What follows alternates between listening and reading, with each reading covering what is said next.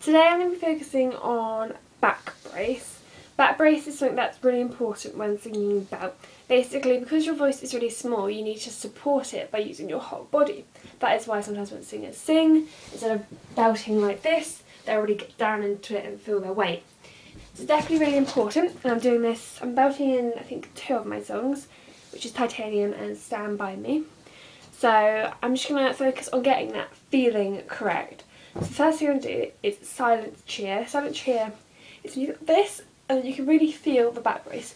Obviously you can't always like this when singing, but it's a good way to start to learn the feeling of back brace. So I'm just in the silent cheer.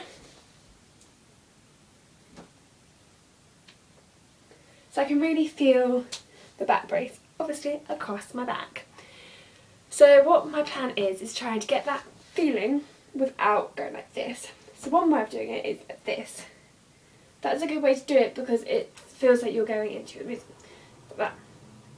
So I'm going to sing And Darling Darling Stand By Me by Benny King and I'm going to do it like this then I'm going to do it like this and hopefully there shouldn't, you shouldn't sound a difference hopefully I should be keeping that this.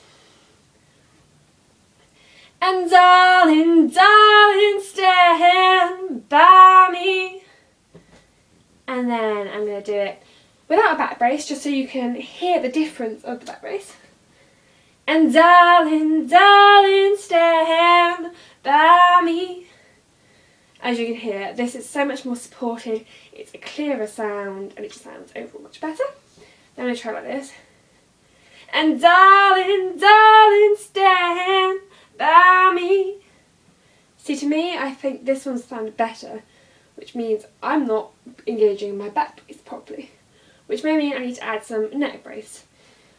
Neck brace is like where you can, you never do it so you push against your head like that. So when you get there, and it's just opening you up a bit more and it just makes it a lot easier to sing and it's supporting your voice a lot more and it will stop it from getting damaged. So I'm going to try it like this and see if I get the same feeling. And darling, darling, stand by me. I think that sounded a lot more clearer and smoother.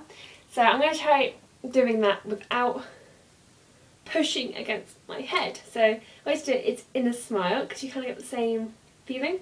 And also a good thing about inner smile is that if you're nervous, you can just kind of smile away and hopefully get rid of the shakes in your voice. And darling, darling, stand by me. I can hear much difference there, but that's the sort of thing that I'm going to have to watch the video through and see where I went wrong. So the whole point of this video is that you need to engage your back brace to be able to belt clearly and safely because at the end of the day belt is pushing your voice and you don't want to damage it in any sort of way.